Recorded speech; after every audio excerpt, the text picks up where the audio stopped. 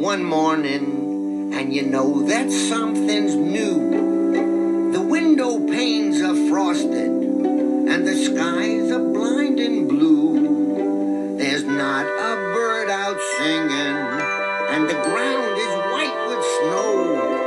You can see the words come puffing out when you say your first hello. You know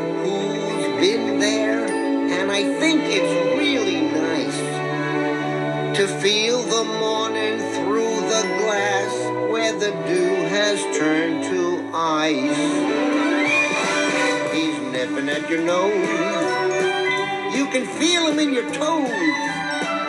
A shiver and a tear lets you know Jack Frost is here. If you try to turn around, Jack Frost, when you hear his icy sound, Jack Frost, he's sure to disappear.